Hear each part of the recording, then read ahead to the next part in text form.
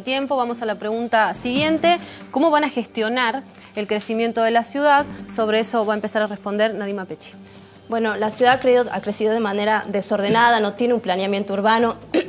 Nosotros en el Consejo Deliberante de Fuerza Republicana presentamos un proyecto para crear una comisión en donde se, vuelva a discutir un código de planeamiento urbano actual, acorde a la ciudad, que elimine la cantidad de excepciones que se están dando Em, y donde intervengan todos los actores que tienen que ver con el, con el tema, la Facultad de Arquitectura, la Cámara de Empresarios, etcétera.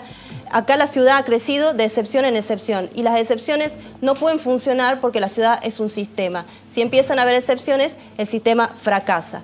Por lo tanto, eh, creo que eh, hay que generar un desarrollo eh, sostenible en la ciudad y empezar a descentralizarla, generando puntos de centros administrativos, comerciales en las zonas de la periferia de la ciudad y promover obviamente esas zonas con incentivos tanto normativos, financieros, como con infraestructura en servicios públicos. Gracias. Bueno, es el turno del candidato Juan Luis Pérez.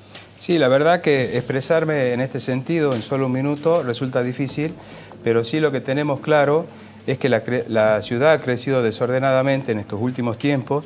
Yo soy arquitecto y urbanista, por eso conozco el tema con, mayor eh, precisión. Y lo que sí hay que hacer eh, urgentemente es modificar el Código de Planeamiento. Nuestro Código de Planeamiento tiene más de 20 años. Imagínense los avances tecnológicos que hubo, el uso de, distintos materiales, eh, bueno, todo lo que es circulación.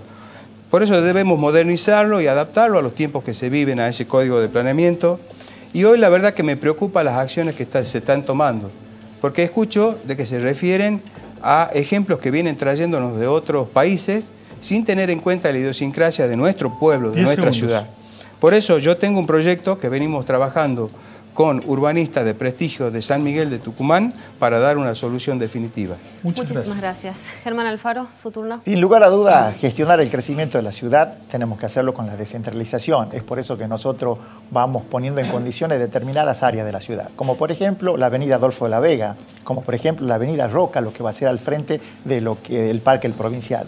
Esos son lugares que se tienen que transformar en polos culturales, en polos de comercio, en polos de servicio, en polos de gastronomía. Para eso es importante también la conectividad, por eso tenemos la conectividad en las plazas tradicionales de nuestra ciudad. También tenemos que tener la conectividad en los barrios vulnerables, como por ejemplo Vial 3 y los Chañaritos. Esto es importante también hacerlo desde el propio municipio. Tenemos que buscar al ciudadano digital, el ciudadano digital para que realice todos sus trámites online, con la posibilidad de no llegarse hasta el centro. Esto lo venimos haciendo desde la Dirección de Ingresos Municipales, venimos haciéndole con el carnet de manejo, venimos haciéndole con el carnet sanitario y tomando otra experiencia en distintas reparticiones, llevando el municipio a los barrios.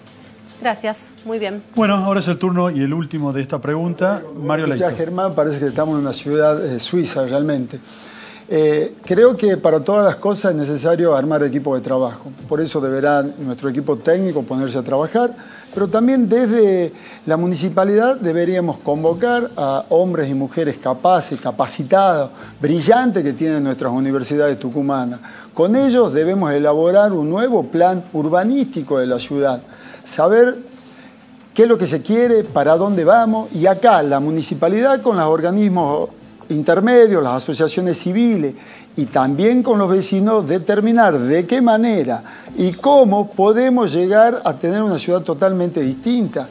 En este caso es necesario siempre que tengamos en cuenta el medio ambiente y también la buena utilización del suelo. Te quedan 10 segundos. En este caso...